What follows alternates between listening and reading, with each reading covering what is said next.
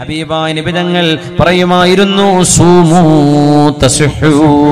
നിങ്ങൾ സുന്നത്ത് നോമ്പെടുക്കണേ ഫർൾ നോമ്പെടുക്കണേ സുന്നത്ത് നോമ്പ് പതിവാക്കണേ തസുഹു നിങ്ങൾക്ക് ആരോഗ്യമുണ്ടാകും സൂമൂ. നിങ്ങൾ നോമ്പെടുക്കണേ നിങ്ങൾക്ക് ആരോഗ്യമുണ്ടാകുമെന്ന് റസൂലുള്ളാഹി സ്വല്ലല്ലാഹു അലൈഹി വസല്ലം തിങ്കളാഴ്ച നോമ്പ് സുന്നത്ത് വ്യാഴാഴ്ച നോമ്പ് സുന്നത്ത് അയ്യാമുൽ ബീദുൽ സുന്നത്ത് പതിമൂന്ന് പതിനാല് പതിനഞ്ച് അറബ് മാസത്തെ ദിവസങ്ങളുടെ പകലുകൾ നോമ്പെടുക്കൽ സുന്നത്ത്. എത്രയോ സുന്നത്ത് നോമ്പുകൾ. നിങ്ങൾ നോമ്പെടുക്കണേ നിങ്ങൾക്ക് ആരോഗ്യമുണ്ടാകുമെന്ന് റസൂലുള്ള മദീനയിൽ വന്ന മദീനയിൽ വരുന്ന മദീനയിലേക്ക് കടന്നു വന്ന റോമക്കാരുടെ ഡോക്ടർമാര് മദീനക്കാരുടെ ആരോഗ്യം കണ്ട് അത്ഭുതപ്പെട്ടു പോയി. മദീനയിൽ അസുഖമുള്ളവരാരുമില്ല അവർ ഹബീബാനിബിതങ്ങളോട് വന്ന് ചോദിച്ചു വല്ലോ നബിയേ ഈ മദീനയിൽ ഞങ്ങൾ അസുഖം കാണുന്നില്ലല്ലോ. മദീനക്കാരുടെ ആരോഗ്യത്തിന്റെ രഹസ്യം എന്താണ്? നമ്മൾ ചെവി തുറന്നു കേൾക്കുക. ഇത് വല്ലാത്തൊരു അത്ഭുതമുള്ള സംഭവമാണ്. ഒരുപറ്റം ഡോക്ടർമാർ റോമൻ ഭരണാധികാരിയുടെ പ്രതിനിധികളായ ഡോക്ടർമാര് മദീനയിലേക്ക് വരുന്നു. മദീനയിൽ രോഗം കാണുന്നില്ല രോഗികളില്ല. ഇന്ന് ഏറ്റവും വലിയ ബിസിനസ് ഹോസ്പിറ്റൽ ബിസിനസ്സാണ് അല്ലേ? എല്ലാ ഹോസ്പിറ്റലിലും നിറയെ രോഗികളാണ് നിറയെ രോഗികൾ അതിലധികവും നമ്മുടെ കൗമിൽപ്പെട്ട ആളുകൾ അല്ലേ?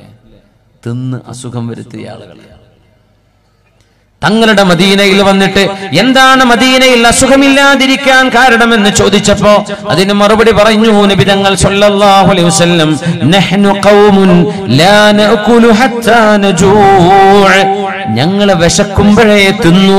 ഞങ്ങൾ അങ്ങനത്തെവരാണ് വിശന്നിട്ടേ കഴിക്കാൻ പാ വിശക്കാൻ. നമ്മൾ ഈ കല്യാണത്തിന് അവിടെ നിന്ന് കഴിക്കും. അടുത്ത കല്യാണത്തിന് അവിടെ പിന്നെ ഇവിടെ ഒരു മുടികളിച്ചല അവിടെ നിന്ന് കയറും. ഇവിടെ ഒരു പള്ള കാണല അവിടെ നിന്ന് കയറും. അവിടെ ഒരു കൂടിയിരിക്കല അവിടെയും എല്ലായിടത്തും തിന്നാണ്. ഇതൊക്കെ പറയും ഞാൻ അവിടെ അവിടുന്ന് കഴിച്ച് വരികയാണ് പിന്നെയും കഴിക്കും.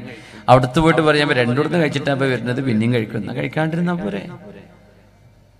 ഒരു ഗ്ലാസ് വെള്ളം കുടിക്കുക വീട്ടുകാർക്ക് മനസ്സിലാക്കുക നാട്ടുകാർ മനസ്സിലാക്കുക. മുമ്പൊക്കെ അമ്മായിമാര് ഭക്ഷണം നൽകിയിട്ട് പുതിയാപ്പിളാരെ കൊല്ലുന്ന പരിപാടി ഉണ്ടായിരുന്നു അല്ലേ? നെയ്യ് വറുത്തിട്ട് കൊടുക്കുന്ന പുതിയാപ്പിളിന്റെ തടി ഉഷാറാക്കാൻ വേണ്ടിയിട്ട്. ഇന്നത് കൊല്ലുന്നതിന് തുല്യാണ്. മനുഷ്യരെ ഉപദ്രവിക്കലാണത്. ഭക്ഷണം നെയ്യും ഫാറ്റും കൊടുത്തിട്ട് മനുഷ്യരെ നശിപ്പിക്കുകയാണ്. മിതമായ ഭക്ഷണം അത്രേ വേണ്ടൂ. മുത്തനബി ഞങ്ങൾ പറഞ്ഞ ഒരു ഉദാഹ ഒരു ഒരൊറ്റ മറുപടി രണ്ട് വാക്കാ പറഞ്ഞത്. ഒന്ന് ഞങ്ങൾ വിശന്നാലേ കഴിക്കൂ. ഞങ്ങൾ തിന്നാലോ വയറ് നിറച്ച് തിന്നൂല. അതുകൊണ്ടാണ് മദീനയിൽ അസുഖമില്ലാത്തത്. സല്ലല്ലാഹു അലൈഹി എങ്ങനെ? ഞങ്ങൾ വിശക്കുമ്പോഴേ തിന്നു തിന്നുമ്പോ വയറ് നിറക്കൂല. ഈ ഇത് രണ്ടും നമ്മുടെ ജീവിതത്തിന്റെ ഭാഗമാക്കിയാൽ. ഒരുപാട് ഒരുപാട് ആരോഗ്യവും ആഫിയത്തിലും ജീവിക്കാൻ പറ്റും. ഒരുപാട് ഒരുപാട് നമ്മൾ വിളിച്ചു വരുത്തുന്ന അസുഖങ്ങളെ ഒഴിവാക്കി വിടാൻ കഴിയും. അള്ളാഹു നമുക്ക് തോഫീക്ക് നൽകട്ടെ. വിശക്കുമ്പോ കഴിക്കുക കഴിക്കുമ്പോ വയറ് നിറക്കാണ്ടിരിക്കുക ഇതാണ് അത്ര ആരോഗ്യത്തിന്റെ രഹസ്യം. ഇന്ന് ഇതൊക്കെ ആളുകൾക്ക് ട്രെയിനിങ് കൊടുത്ത് പഠിപ്പിക്കുകയാണ്. ഭക്ഷണ രീതി നമുക്ക് കേരളക്കാർക്കാണ് തീരെ അറിയാത്തത്.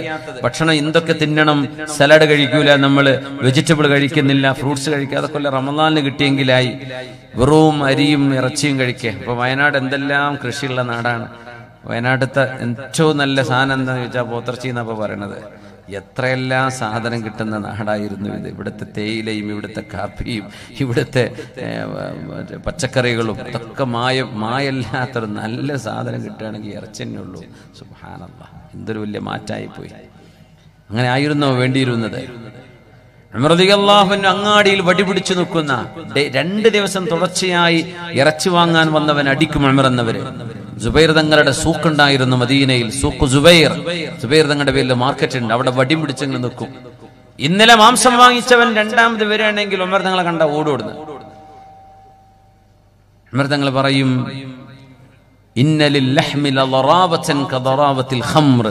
മദ്യത്തിനൊരു ആസക്തിയുള്ള പോലെ മാംസത്തിനൊരു ആസക്തിയുണ്ട് എന്നും തിന്നുകയാണോ കള്ളു കുടിക്കാതിന് കള്ളു കിട്ടാണ്ടിരുന്ന പ്രയാസം വരുന്ന പോലെ മാംസം ശീലിച്ചു കഴിഞ്ഞാൽ അത് എന്നും വേണമെന്ന് തോന്നും.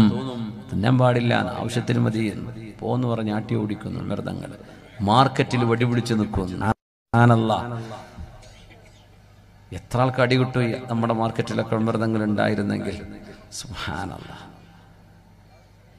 ഇതൊക്കെ ദീനാണ്. ഇസ്ലാം എന്ന് പറഞ്ഞ വെറും നോമ്പിനെ പറ്റിയും നിസ്കാരത്തെ കുറിച്ചുള്ള വേൾ അതല്ല ഇതൊക്കെ ദീനാണ്. ഇതൊക്കെ നമ്മുടെ ദീനാണ്. ഇസ്ലാം ഇവിടൊക്കെ നിയമങ്ങൾ പറഞ്ഞിട്ടുണ്ട്.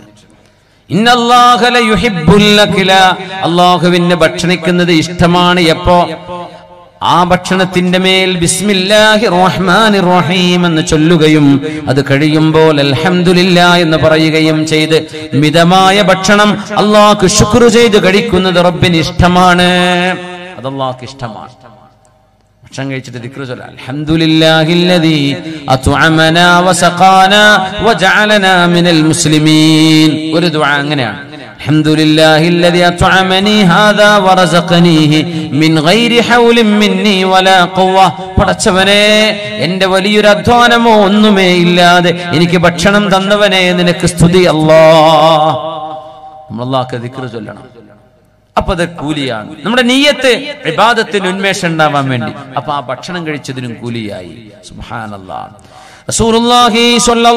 വസല്ലം തങ്ങൾ പറയുന്ന ഒരു ഹദീസ്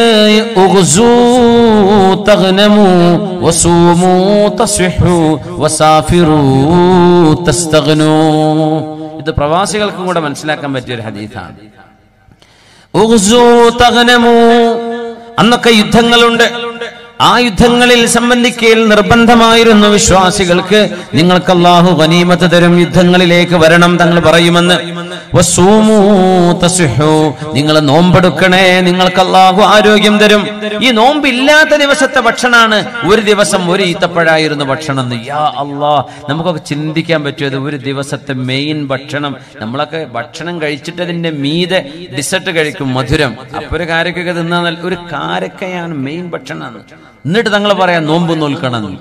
എന്നാൽ അതും കഴിക്കാണ്ടിരിക്കാൻ സൂമു തസ്ഹു ഭക്ഷണം മിതമായി കഴിച്ച ഒരു കാലത്ത് നമുക്ക് ആരോഗ്യം ഉണ്ടായിരുന്നു. ഭക്ഷണം കൂടിയപ്പോൾ അനാരോഗ്യം. ഇന്നത്തെ ആകെ വിഷയം അതല്ലേ? ആരോഗ്യമില്ല. ഒറ്റൊന്നിന് എണീറ്റിക്ക് നടക്കാൻ ചെറുപ്പക്കാർക്ക് മുഴുവൻ കാലുവേദന ഊരവേദന ഇരിക്കാൻ വയ്യ. സ്റ്റൂളിലെ പള്ളി മുഴുവൻ ഇപ്പോൾ ചർച്ചിന്റെ ഉള്ളിലൊക്കെ ചെന്ന പോലെ ബെഞ്ചിട്ട് നിർത്തേണ്ടി ഇരുന്നു കുറച്ച് കഴിഞ്ഞാൽ നേരത്തെ ഇരിക്കുന്ന ആൾക്കാർ സ്റ്റൂളും മേലും ചെയറിലും. സുഹാനി ഡെസ്കും ബെഞ്ചൊക്കെ ആക്കേണ്ടി വരും. അള്ളാഹു ആലോ ചെറുപ്പക്കാർ വരെ പ്രായമുള്ളവരെ കുറിച്ചല്ല പറയുന്നത്. വളരെ ചെറുപ്രായത്തിൽ വരെ ഇതുപോലെയുള്ള അസുഖങ്ങൾക്ക് അടിമപ്പെടുകയാണ്. ഭക്ഷണം കൊണ്ട് വരുത്തി വെച്ച ദുരന്തങ്ങൾ. നിങ്ങൾ നോമ്പെടുക്കണേ അള്ളാഹു നിങ്ങൾക്ക് ആരോഗ്യം തരും. നിങ്ങൾ യാത്ര ചെയ്തോളൂ അള്ളാഹു നിങ്ങൾക്ക് ഐശ്വര്യം തരും. നാടെന്ന് യാത്ര ചെയ്തിട്ടാണ് പ്രവാസികൾ ഗൾഫിലൊക്കെ ജീവിക്കുന്നത്. ഇവിടെ നിന്ന് ബാംഗ്ലൂരും എറണാകുളത്തും മാംഗ്ലൂരും ബോംബെയിലും മദ്രാസിലുമൊക്കെ ബിസിനസ്സിന് ആവശ്യാർത്ഥം യാത്ര ചെയ്യുന്നവര് അല്ലെ? മീറ്റിങ്ങുകൾക്ക് യാത്ര ചെയ്യുന്നു. സാഫിറു തസ്തകനു നിങ്ങൾ യാത്ര ചെയ്യുക അള്ളാഹു നിങ്ങൾക്ക് ഐശ്വര്യം തരും. നബി തങ്ങൾ പറയാ സല്ലല്ലാഹു അലൈഹി വസല്ലം.